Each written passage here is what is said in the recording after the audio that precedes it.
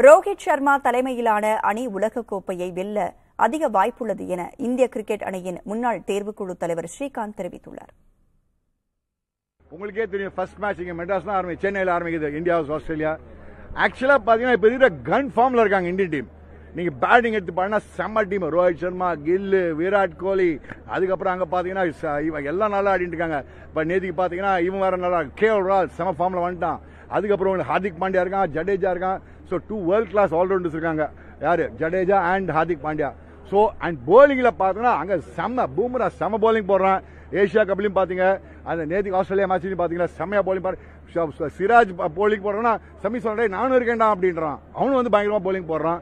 So என்னோட ஒப்பீனியன்ல Kuldeep Yadav is bowling brilliantly I think in my opinion we have a fantastic allround side என்னோட opinion இந்தியாவுக்கு வந்து இந்தியாவோட chances of winning அப்படின்னு என்ன கேட்டீங்கன்னா வெரி வெரி ஹை அப்படின்னு தான் நான் சொல்லுவேன் so two thousand eleven world கப்பில் இந்தியா நடந்தது. அப்போ இந்தியா வின் பண்ணோம்.